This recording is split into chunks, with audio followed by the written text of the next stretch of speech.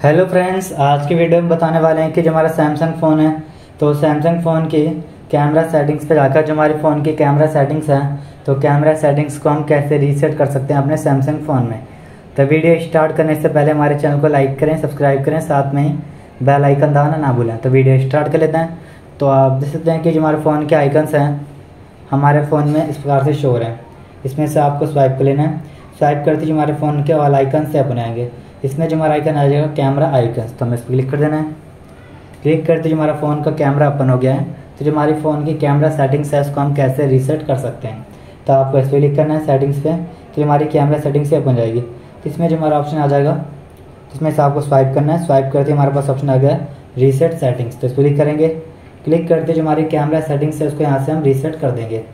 तो इस पर फ़ोन की सेटिंग जाकर कैमरा सेटिंग्स को हम रीसेट कर सकते हैं अपने सैमसंग फ़ोन में। तो आपको वीडियो अच्छी लगी तो लाइक करें, सब्सक्राइब करें, साथ में बेल आइकन दबाना ना भूलें और थैंक यू।